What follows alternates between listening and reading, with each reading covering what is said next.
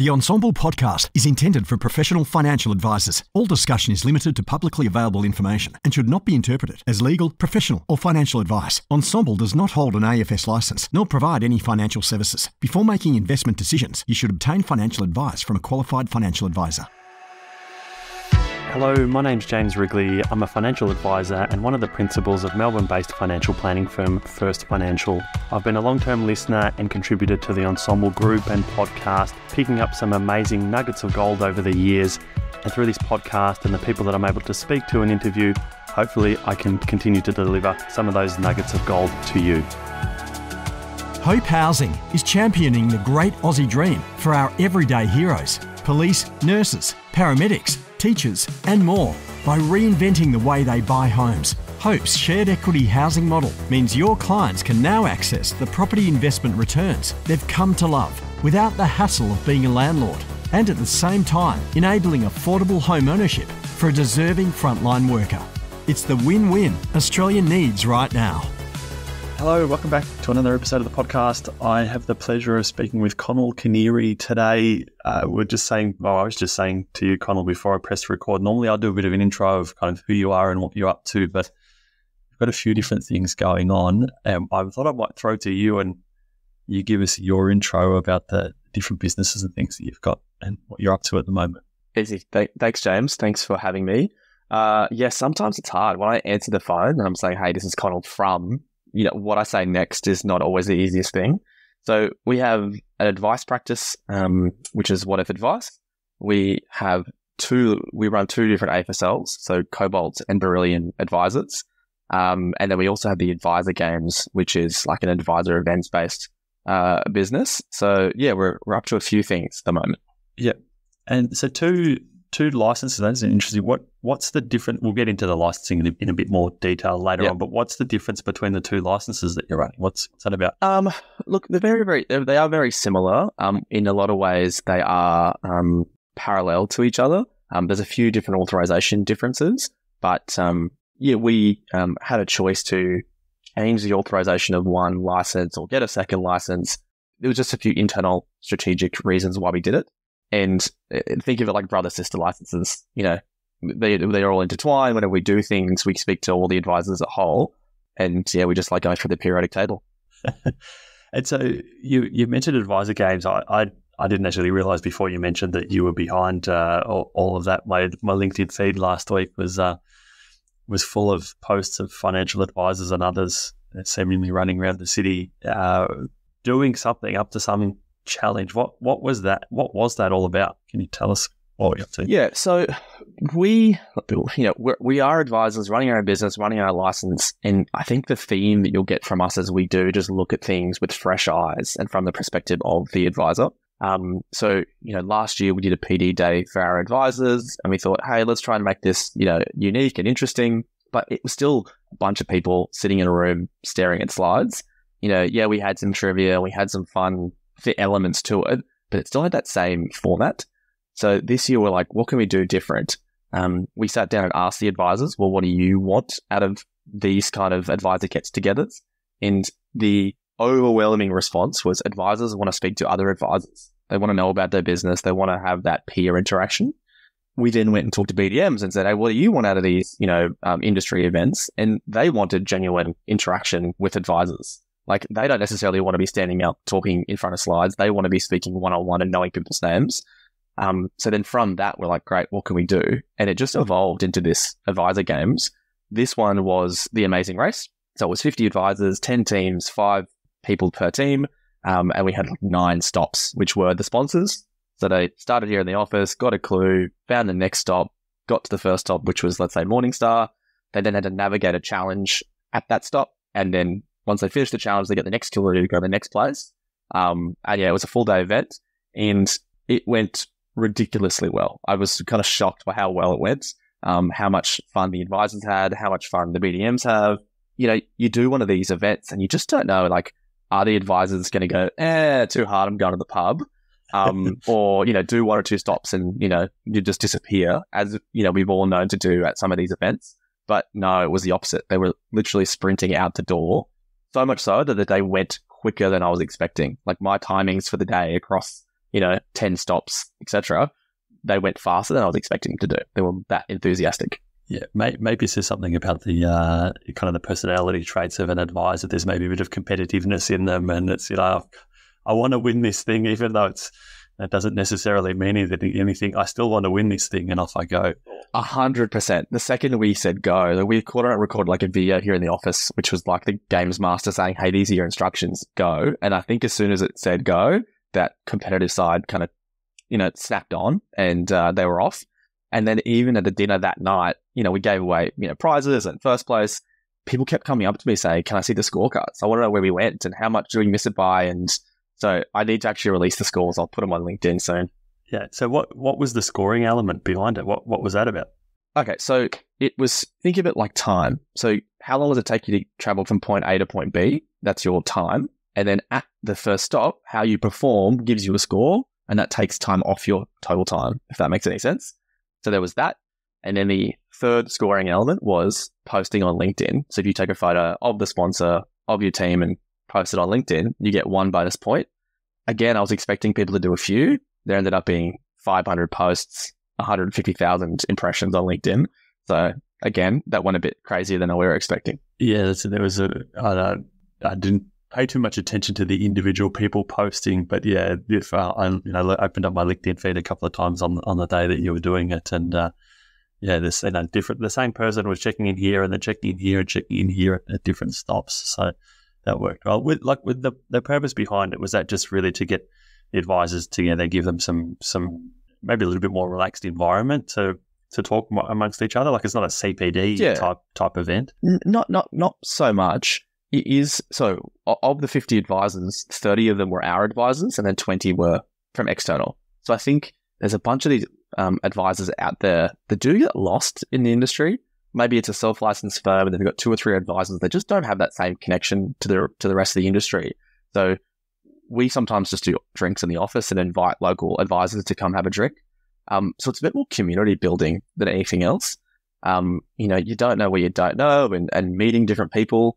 Um, when I was creating the teams, it was a bit like organizing a wedding where you're trying to put the right people within the right teams. And, um, you know, yeah, I, I, people, lots of people came up to me and said, you know, I just spent six hours with these people I never would have otherwise. I never would have spoken to them otherwise, and they are now like a, a contact that I have for life. Yeah, um, and I think that's the point. I, I if, if you don't already, I reckon you'll have like a, a wait list for, for the next one that, that you do, whether yeah. it's on the sponsorship so doing, side or on the advisor side.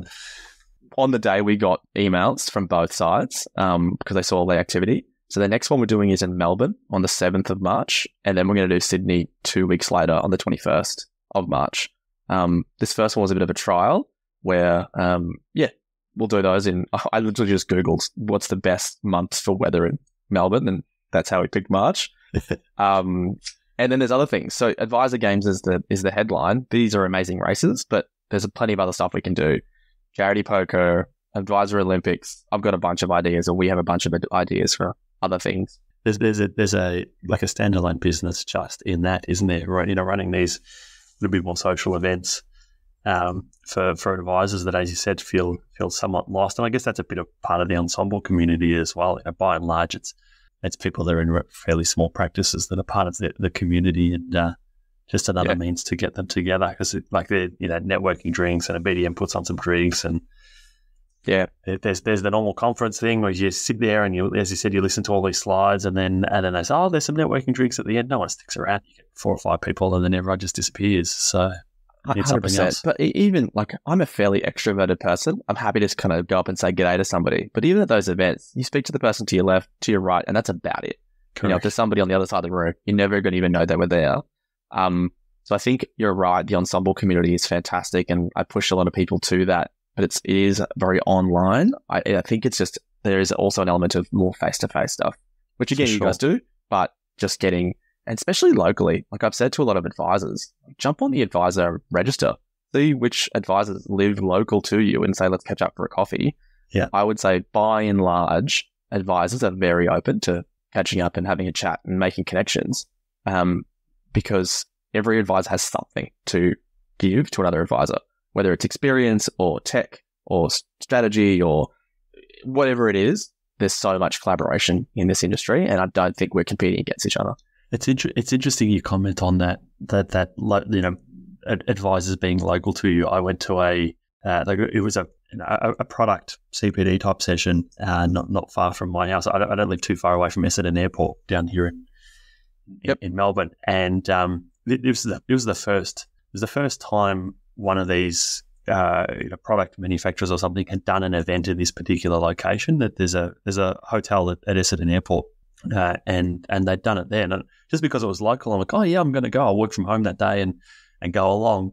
And uh, there was turns out there was one one of the dads from school that I happened yeah. to bump into a few weeks earlier, and turned out he was a financial advisor. Otherwise, you know, I wouldn't have known that you know. Yep. And so it, it was. I don't know. It felt better going to something smaller, kind of closer to home. There's a bit of a strip of local shops, and there's some lawyers and accountants and things nearby. Yeah. Yep. I, I, I, work in the city primarily, and those events are full of people in their suits, and they go in and they get their thing, and then they disappear. It was it, there was a lot more chatter in in just that local event, and there was probably only thirty or forty people. There was a fairly small event. But yeah, you're right. There's something to be said for the community is super community powerful. based um, ones. Yeah, even just things like who else can I refer to in the in the local area? Who's a good accountant? Who's good this? Who's good that? Or we go to the same school, or we know the same sporting clubs. There is a lot of power in that, and that's kind of what we say to some of the new advisors joining the license. You know, we're trying to grow leads and grow their business. We just sort of say get involved in your community. Yeah. that's maybe a good yep. intro segue into into the licensing part of, of, of what you're up to. So, you know, we briefly caught up at the Ensombl event in, in Sydney a, li- a little while back, and we're, we were chatting about a lot of people that I talk to as part of the podcast, and just general comments through through the community around uh, the small businesses. There might be one or two people. Maybe they've got some support staff. More often than not, those support staff are overseas. And you know, there's, there's some challenges that some of these smaller businesses face, and then you know, a, a, number of them eventually get to a point where ah, it's too hard for for for some particular reason. I'm going to sell into some other group and roll the business into there and be part of a part of a bigger group. How, how are you? How are you seeing that playing out from from your side, from that licensee side, and and what are you doing in that space? Yeah, so th- there there's a lot to unpack in just that question. Um, so maybe I'll kind of just tell you what we do, and then just some of the solutions to some of that stuff. Um, so like we've said, we're advisors. We created a dealer group with the advisor in mind and also the end client in mind. So even just those perspectives are a little different we have an maybe an evolutionary licensing options. So there's like a startup option that we have. And kind of what you're just saying. So someone to transition from being employed to self-employed is really, really difficult. So salaries are getting higher and higher as a uh, financial advisor. So to go from that to potentially zero dollars income and then three, four, five grand out every month in business expenses, that's a really huge jump. Um, we have seen advisors try it and not succeed. And it's pretty painful to see when they go into that traditional licensing model. There's various reasons of why that happens, but one of the licensing we, options we have is a hybrid approach between kind of employed and self-employed, where it's somewhere in the middle um, of those two, so that um, it's more of a tippy, uh, you know, putting your toe into the water of being self-employed. Um, I can go into more detail about what that is, but we have that. We then have traditional licensing, which is a fixed fee option, and then we have like a self-licensing option. So effectively, someone starting at zero and then going up to a million dollars worth of revenue, there's a different kind of option for each of those business types. But yeah, that narrative of how hard it is to be an advisor, especially a single advisor in a business, is difficult. And I think also you can get trapped on a license or in a particular advisor group and you don't see what else is out there. Um, you don't know what other options you've got. So, you know, your licensee turns around and says, Hey, your licensing fees are $60,000 a year right now and your business is no longer viable you think that's fact, but that's just not necessarily the case. Yeah, yeah. So what so what does that transition look like for you? So I, I step out of here, as you said, I go from a nice salary to 0 mm-hmm. I have no clients. I'm yep. starting from starting from scratch. Yep. All of a sudden, I'm supposed to pay a licensing fee and all of these outgoings to get the business set yep. up in the first place. So hopefully, I've got some resources behind me to cover that for a brief period of time. But then, if you're yeah. setting yourself into a some some monthly outgoings, you're gonna have to have a few clients coming on board just to cover your outgoings, let alone pay your salary. So what does that first yeah. what does that first step so, look like? So so there's two there's two options. So let's call it um, the startup licensing option and the traditional licensing front. Did I'll, I'll let me explain what that looks like in the startup option first, and then I'll explain the what it looks like the other one. So do that. if you look at an established business, an established financial planning business, they have a lot of things. They have a brand, they have a website, maybe they have an office, they probably have lots and lots of leads. And a business like that can take on an employee, but they take on 100% of the risk and they pay 100% of the salary. So the risk is very much in the business's side. Um, how we look at it is if you want to come into our business, you can use our brand. There's no ongoing expenses. There's no ongoing stuff. We even have leads that we can give you. But if you service those leads, we own the client. So it's, um, for better purposes, let's call it a, a percentage model um, between the two. However, what that advisor can do is they can take our leads, service their clients, you know, replace their income very, very quickly. But on the other side of the coin, they can start building up their client book. So if they go and find their own lead, go and find their own client, they own that client 100%. What that means is that whether it's a, you know, a year or two years, then when they're transitioning into a traditional licensing model, they're bringing a book with them and they're not starting at zero. That kind of makes sense? Yep, it does. Yep, and, and so the the clients that, that you own in that model, they when they go and do their own thing, they those clients stay with you, your business. It's up to it's up Yep. to it's up to the advisor. So do you Yep. want to you know buy them off of us Buy them. keep the clients, or do you want to leave them with us and we can give them to another advisor?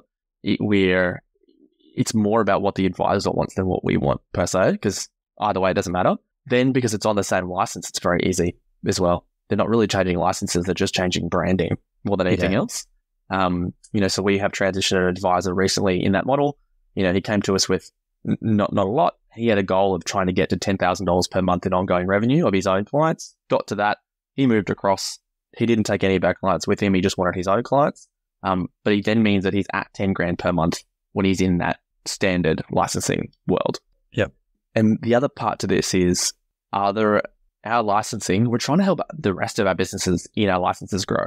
So this is an alternate option as well for them if they want to add an extra advisor into their business. They're trying to grow because you have the same problem on the other side. Do you go and buy, get like employ an advisor and, and spend a hundred, two hundred thousand dollars a year? What, like that's very scary for a small business owner as well. So the, the question then is what other options do they have? This hybrid option is also something they can do. So that's interesting. So you could have a a completely standalone business that's doing its own thing, operating on your Uh-huh. license, paying the normal Yep. fees, whatever whatever they are, but then to try and bridge that gap between how do I go from one advisor to two advisors? Because to your point, all of a sudden they have to pay this person one hundred fifty thousand dollars in salary and whatever other costs Yep. that are going to go with it. You'd want to have you'd either want to have a decent client book to be able to support that, or a lot of leads coming through, one combination of both. But you can Mhm. do that you know, revenue splitting, whatever whatever it is that that hybrid model to get them up Yeah. and running until they then come across. That's interesting. That's right. Yeah. Yep. There's just more than one way to skin a cat. Yeah. Um, and I think that now this is very much focused on like the the way that we got here. I was seeing these people who were willing to go the traditional route. They were willing to ta get rid of their salary. They were willing to put the, their life on the line and try this whole self-employed thing. That's the type of person I'm we're looking at. That that's this is for. It's not for the employee servicing advisor style. I just want to turn up to work nine to five. It's someone who's trying to build something. And then having that personality type in your business is also the personality type that you want. Someone who's you know, is trying to grow. They want to be a small business owner. Um, you get they, they're an asset to the business. Yeah.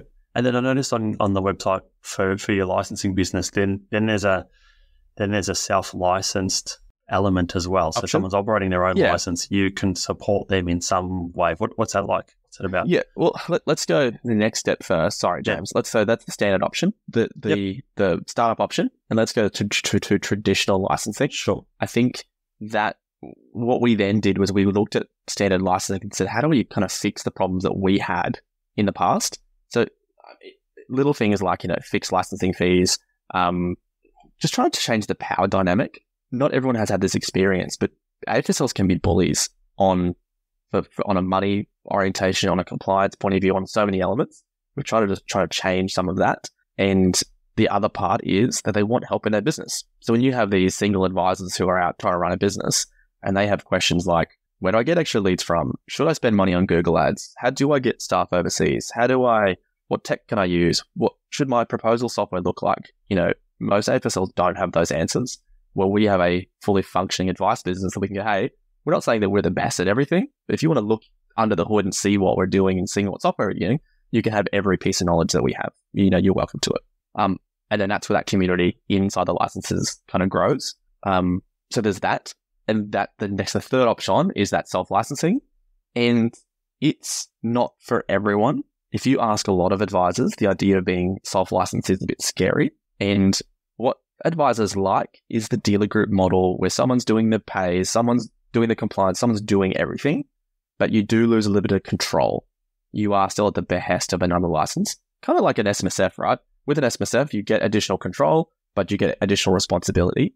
Um, our self licensing model is very much a, it, it looks like the license you've just been on. The policies are the same, the processes are the same, but it's ultimately your license. Therefore, you can do the, make the ultimate decisions and the money goes into your bank account.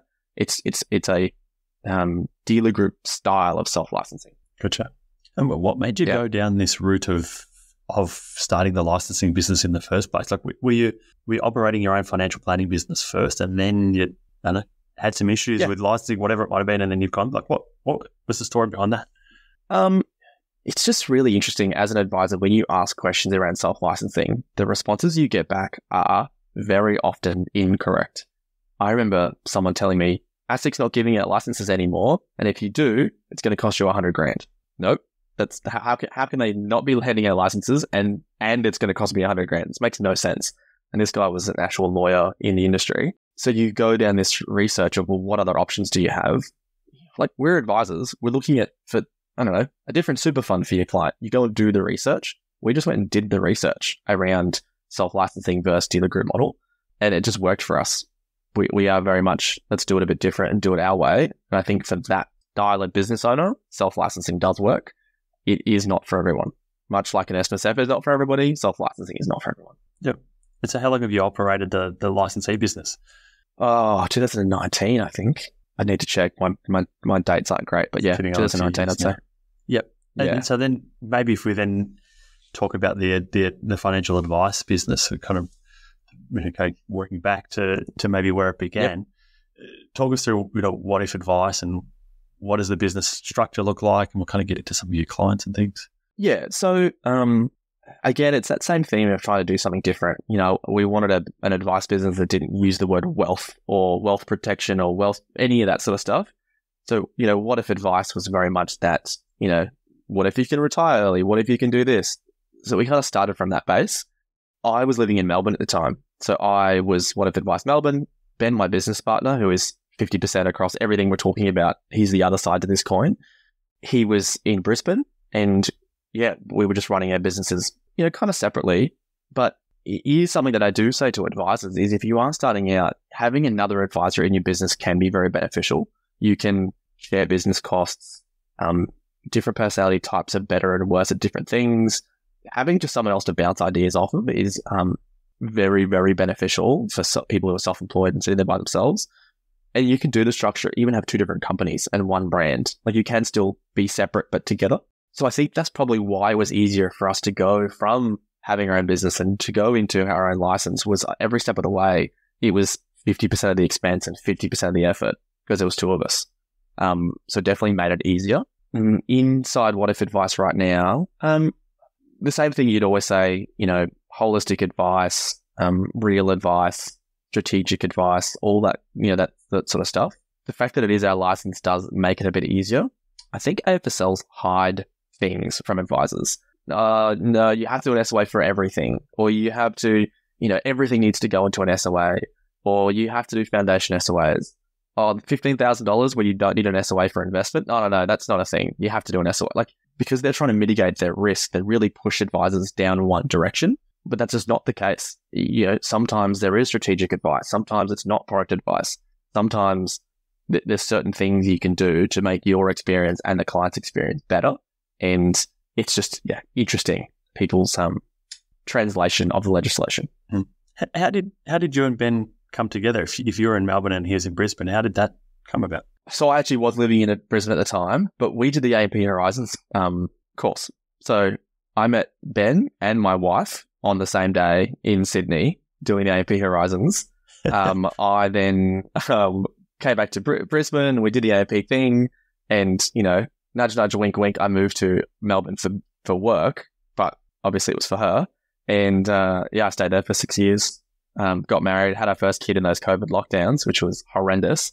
Yeah. And then uh, you, you find yourself scrolling realestate.com and ended up back here and bought a house and bought the office and yeah, haven't looked back. Yeah, nice. Good on you. Good on you. So, are you are you spending much time like in terms of the advice business? Are you advising many clients? Like, it sounds like you're doing a lot of different things. Are you completely out of being an, an advisor? What's your day to day? So I would, the way I would describe it is I spend 140% of my time on the licenses and then another 30% of my time, uh, probably working on the advice business rather in, than in the advice business. You know, we have a tech stack that every single stage is, you know, digital and we try to automate it as much as possible. We're going through another whole process where we think we can go from six or seven apps down to one app. So that's a, a process we're going through right now. Um, but no, the, the, the seeing clients and really being a good advisor and be able to service clients properly, you, you kind of need to have your head in the game 100%. So yeah, it's been a few years now that we've kind of stepped away from that. Yep. And so, what have you got in terms of a team of advisors then in the business?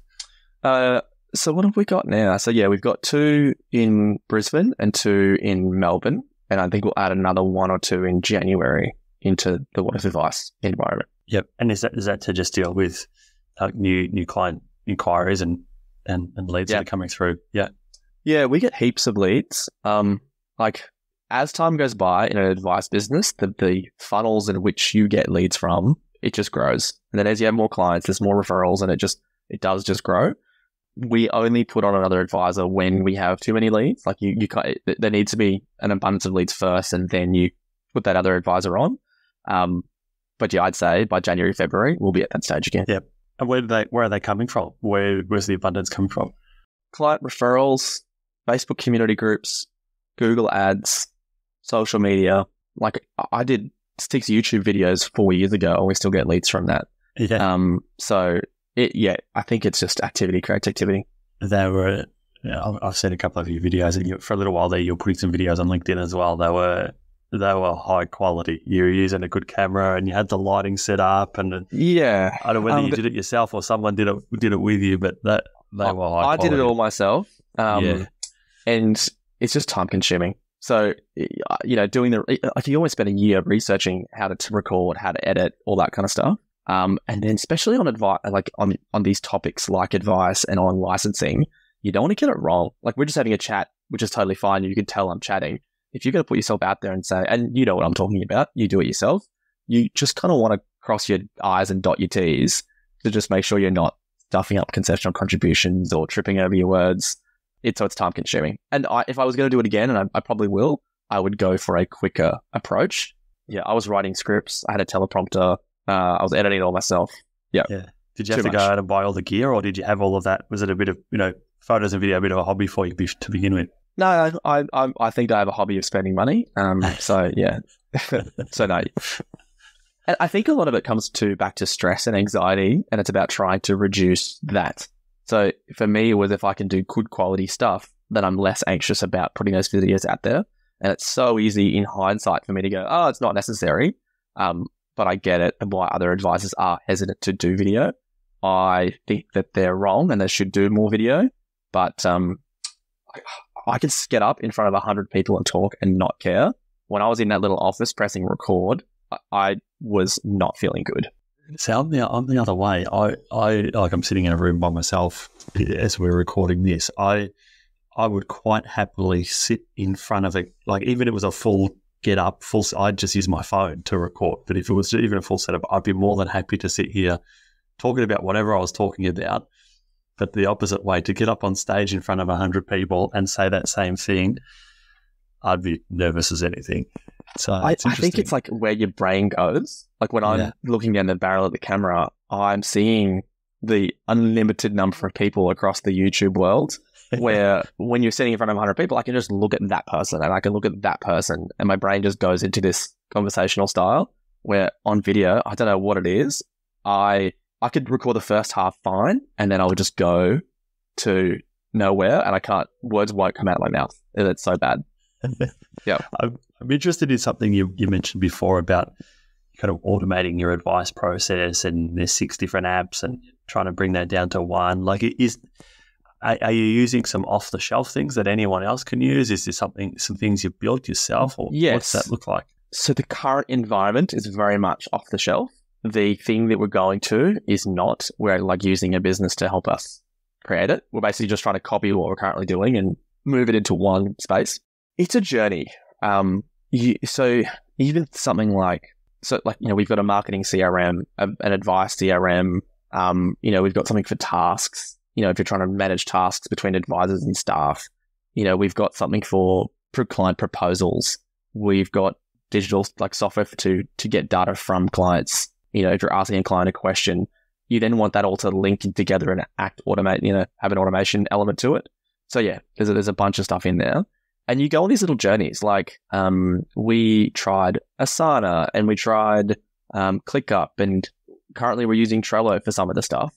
So sometimes it's not necessarily the best app that has all the features. It's kind of like what works for your business, and yes, it can be time consuming, but yeah, How do you? We're we're trying to deal with the, and there's a lot of apps out there for it, but this so we, we use Xplan as the main. Xplan's our everything. Uh, so Okay. we're well and truly embedded into Xplan, but it's trying to get information from the client into Xplan.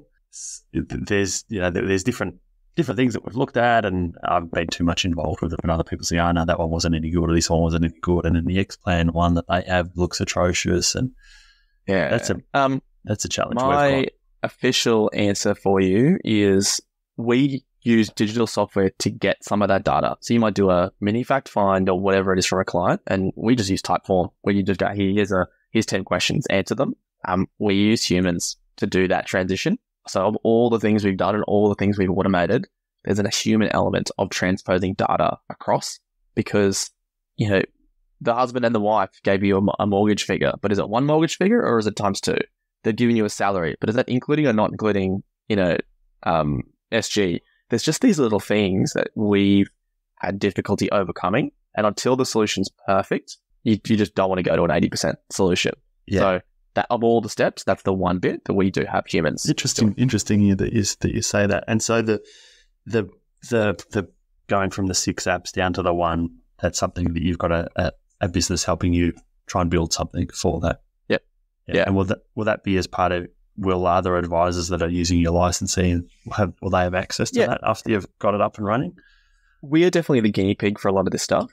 The business that we use was like our automations business. So you would have heard of like Zapier. Yep. There are other things out there that are just far more um, malleable than Zapier. So Make is one that we've used, and you can instead of connecting two apps, you can connect three or four. So you might go take in from Typeform, put it into a Google Sheet, from a Google Sheet, putting it into a PDF, from a PDF, put it into an email, send that email to two or three spots. Like you can have multiple step automations. And yeah, we just went back to them and said, hey, you know, we've got all this stuff going on. Do you have a solution where we can just reduce some of this stuff? Um, and the the project we're working on is on a licensing level and on a biz like a you know advice business level, but they're like modules. Um, so yeah, just think of something like PipeDrive or any of this sort of stuff, but you can just customize it a bit more to the financial planning world. Um, you know, like I don't. Everyone's advice process is very similar: data gathering, research, strategy, SOA. You know, like a, a lot of that stuff. I think we can copy and paste across, but we're just going to be the guinea pigs. And I think that's the issue with sorry with scaling. And a, a single advisor doing it his way, his or her way, you don't need processes. You don't necessarily need automation.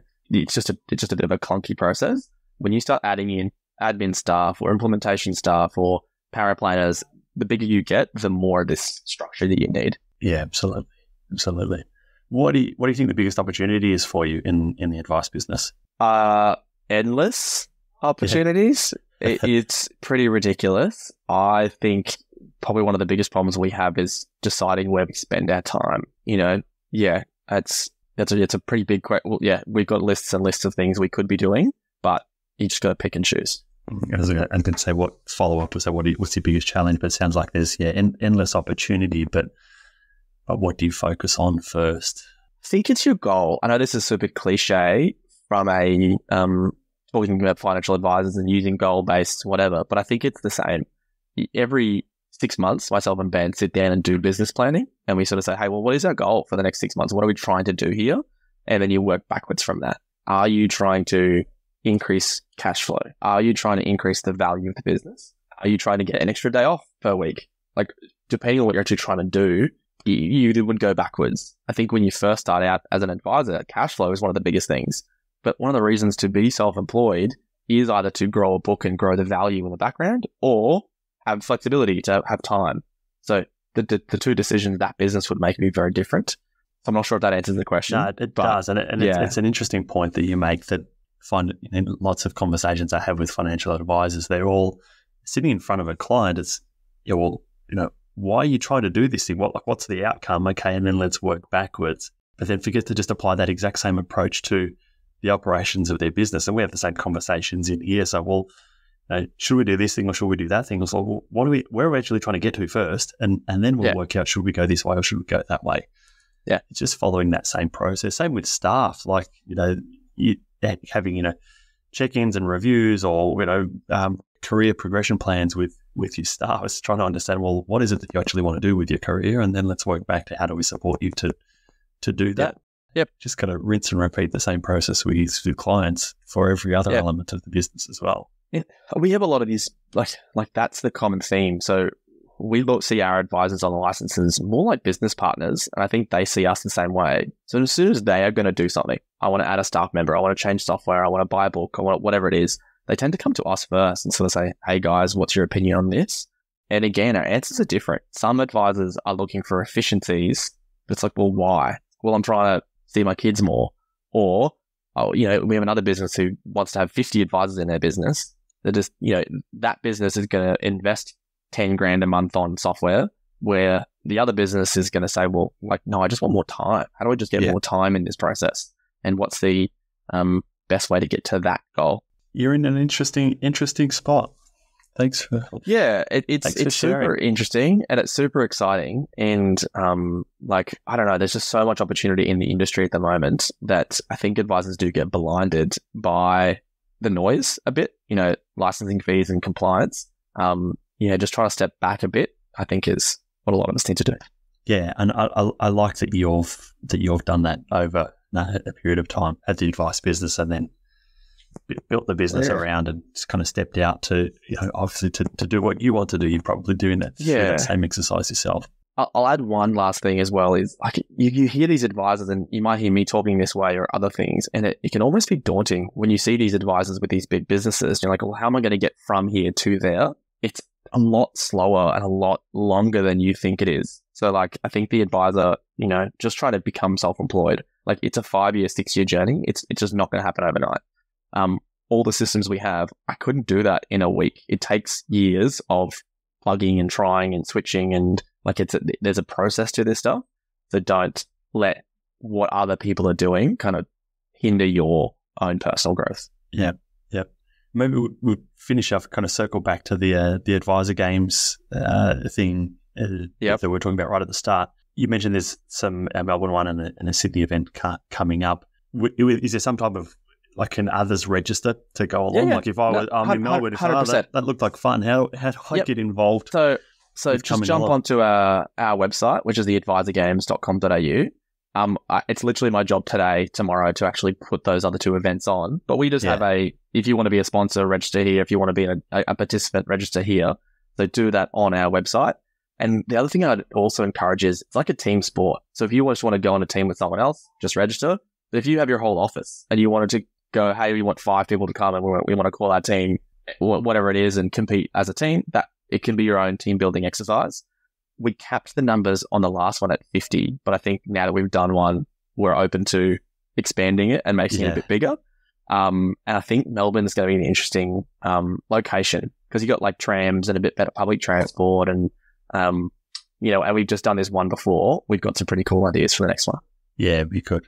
Look, I'm going to register, and I'll get a couple of other people. But yeah, good. We're, small business or big business, but uh, it, it's great to just I, I, find the bigger the business gets and the business I work in you know, reasonable size, it, it's very easy to just kind of get trapped in your four walls of that business. Yep. There, there, are yep. plenty of other people here to talk to and bounce ideas off, but you get an, in, an insulated view of the world. Whereas uh, that these And I- types of I things think, can like, be helpful. Yeah, some of the questions you've asked, like, hey, what software do you use for this? Like, just that, just that conversation, I could talk to you for 45 minutes on.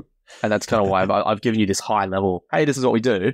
But, you know, you kind of need these events, so you need to spend time with people and other businesses to drill into the detail. I think the detail is the bit that's really important.